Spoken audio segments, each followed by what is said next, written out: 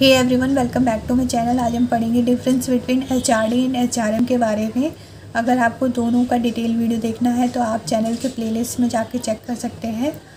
चलिए अब हम पढ़ेंगे एच आर डी और एच आर एम में डिफरेंस क्या होता है। इसका फ़र्स्ट पॉइंट होता है, इसका एम होता है कि जो एच आर डी का एम होता है कि जो कॉम्पिटेंसीज़ है एम्प्लॉयज़ की, वो उनको रियलाइज़ कराए कि उनमें कौन सी कॉम्पिटेंसीज़ है और उनको डेवलप करे।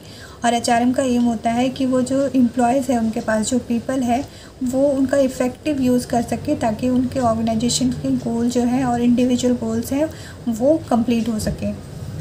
सेकेंड पॉइंट है इम्फेसिस इम्फेसिस इसका इम्फेसिस होता है एक हेल्दी वर्क क्लाइमेट क्रिएट करने के लिए, जहाँ पे जो लोग होते हैं वो एक दूसरे को इनक्रेज करें अपना बेस्ट देने के लिए। एच आर एम का इम्फेसिस होता है कि वो चाहता है कि पीपल और ऑर्गेनाइजेशन दोनों एक साथ आएँ और उन दोनों के जो गोल्स हैं वो सेम बने और एक दूसरे जब सेम होंगे तो वो ज़्यादा अच्छे से अपने गोल्स को अचीव करने के लिए मेहनत करेंगे।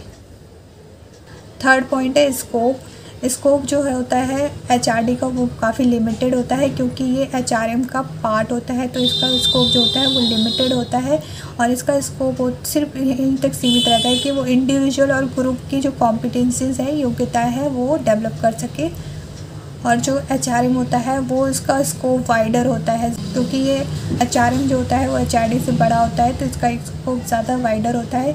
ये तीन आस्पेक्ट कवर करता है first personal second welfare and third industrial fourth point है ओरिएंटेशन ओरिएंटेशन क्या है? Developing a healthy work climate and improve the quality of work इसका ओरिएंटेशन होता है कि वो ये हेल्दी वर्क क्लाइमेट डेवलप करना चाहता है जो, और जो वर्क लाइफ क्वालिटी है, उसे भी इम्प्रूव करना चाहता है एम्प्लॉयज़ की।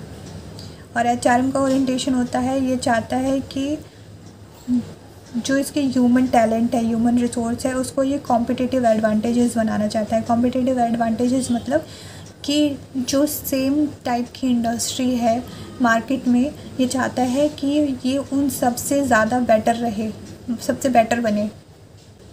फिफ्थ पॉइंट है रिस्पॉन्सिबिलिटीज़ एच आर डी किसकी रिस्पॉन्सिबिलिटी है? ये होती है, ये एच आर एम मैनेजर की रिस्पॉन्सिबिलिटीज़ होती है। और ये एच आर एम जो होता है उसमें की रिस्पॉन्सिबिलिटी होती है। लाइन मैनेजर और स्टाफ एक्सपर्ट पे। सो आई होप आपको ये वीडियो अच्छा लगा होगा। वीडियो अच्छा लगे तो वीडियो को लाइक शेयर एंड मेरे चैनल को सब्सक्राइब करें। Thank you for watching this video